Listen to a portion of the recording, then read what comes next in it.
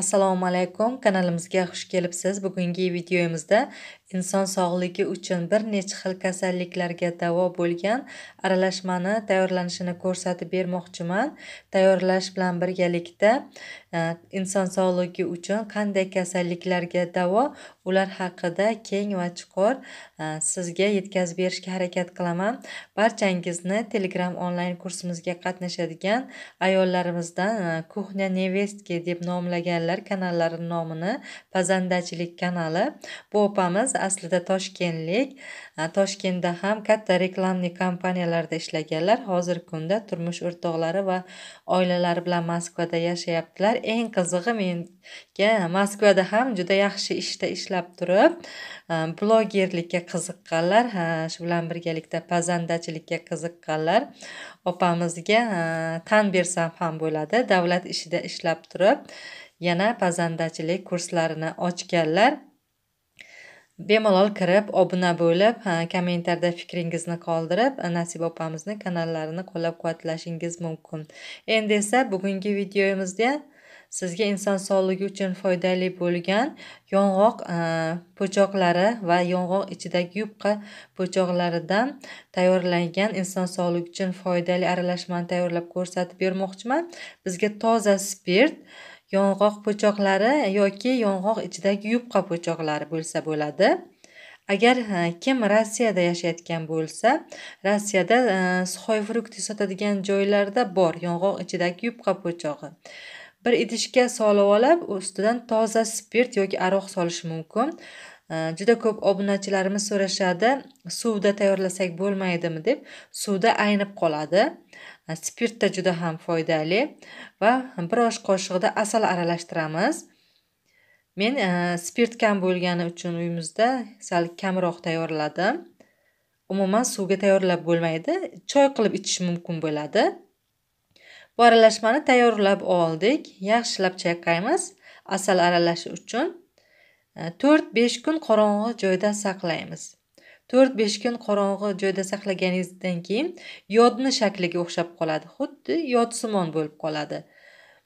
Э, va э, ta'mi ham juda mazali. Ta'mi hech qanday yomon emas. Ko'ngilni aynitadigan darajada ham emas.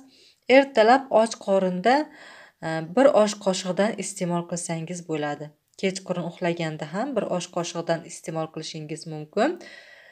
O'zingizga agar oila a'zolaringiz bilan birgalikda iste'mol qilsangiz bir litrli kattaroq e, bankaga solib tayyorlashingiz mumkin. Bu aralashma e, inson sog'lig'i uchun juda ko'p turdagi kasalliklarga davo bo'lib yodga boy aralashma kimda bo'qoq kasalligi bo'lsa bo'qoq kasalligi uchun juda ham foydali. Inson organizmida yod yetishmaganda ayniqsa kamquvvat insonlarga immunitetni ko'taruvchi homilador ayollarga juda foydasi katta va emizikli onalarga shu bilan birgalikda e, kimda asab kasalliklari bo'lsa uyqusizlik kasalliklarda e, shu bilan birgalikda xotirani tiklovchi sahrni diabet kasalliklarida insult kasalliklarida davleniya kasalliklarida juda ham foydali. Qand kasalligi sahrni diabet kasalliklarga yurak kasalliklariga juda ham foydali. Men o'zim moskvada yashaganimda iste'mol qilib ko'rganman. Juda ham e, uyqusizlikka juda yaxshi yordam beradi. Asabni juda tinchlantiradi. Holsiz tez tez charchab qoladigan kam quvvat insonlar uchun juda foydali. Tayyor bo'lgandan keyin ko'rinishi xuddi shunaqa yodsimon bo'lib qoladi. Aytib o'tganimdek ertalab kechqurun bir osh qoshiqdan iste'mol qilasiz. Albatta och qorinda iste'mol qilish kerak bo'ladi. Davolanish jarayoni o'n kun. Uch oyda bir marotaba o'n kun yetarli bo'ladi.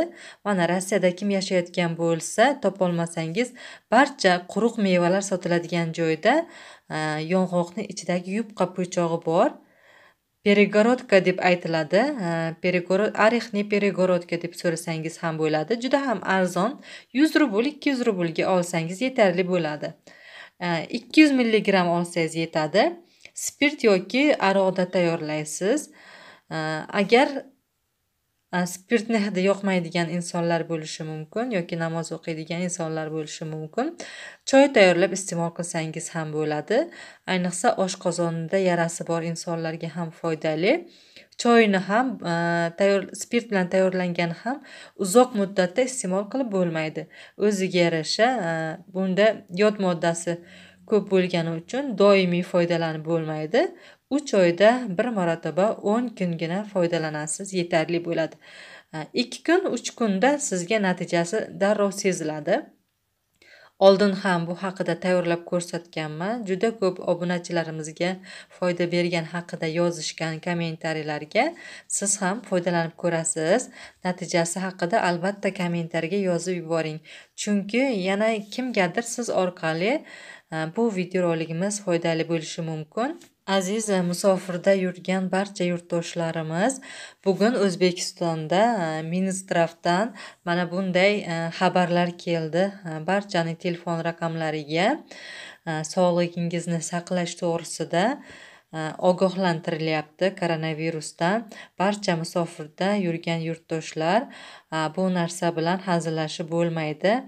Metrolarda qatnaydigan tez tez ishga borib keladigan avtobus barcha transportda qatnaydigan insonlar общий joyda yashaydigan ko'pchil orasida yashaydigan insonlar albatta gigiyenaga rioya qilishingiz kerak bo'ladi tez tez qo'llaringizni ko'pirtirib sovunlab yuvib spirt bilan artib turishingiz kerak bo'ladi chunki hozirgi kunda dunyo bo'ylab kasallik tarqalgan o'zbekistonda ham endi ogohlantirish bera boshlashdi internet orqali telefonlar orqali barcha tashkilotlarga o'quv muassasalariga aziz musofirdagi yurtdoshlarimiz juda ko'p musofirga yurgan yurtdoshlarimiz общий joylarda yashashadi stroykalarda yoki kvartiralarda imkon qadar gigiyenaga rioya qilishingizni tavsiya etaman.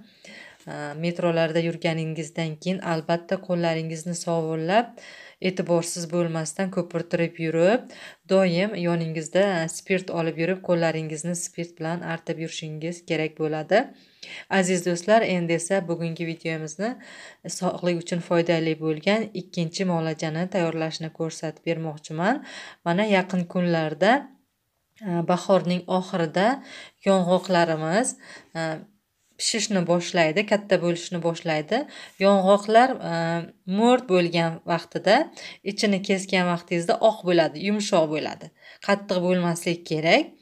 Yong'oqni e, taxminan yetti sakkizta yong'oqni olasiz. Yuvib olib e, mesorovkadan yoki blenderda o'tkazib olib bir bankaga yarimi e, yong'oq aralashmasi yarimini asal bilan to'ldirasiz va Э, besh olti kun qorong'i joyda saqlaysiz. Imkon qadar bir hafta saqlasangiz ham yetarli bo'ladi. Tayyor bo'lgan aralashmani ertalab och qorinda e, bir kichik qoshiqda kechqurun uxlashdan oldin bir kichik qoshiqda iste'mol qilasiz. E, bu aralashma kimda bo'qoq zob kasalligi bo'lsa judayam yaxshi davolashda yordam beradi.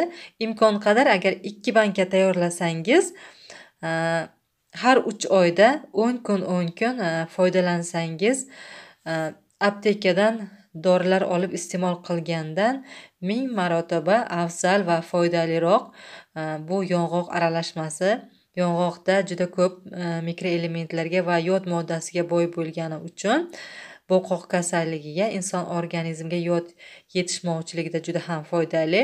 Ayniqsa e, homilador ayollarimizga emizikli onalarga uyqusizlikda yuqorida aytib o'tganimdek asab kasalliklarda shu bilan birgalikda e, davlena kasalliklarida davlena normallashtiradi.